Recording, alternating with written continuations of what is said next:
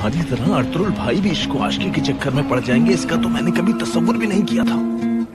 इश्क पर किसी का ज़ोर नहीं चलता।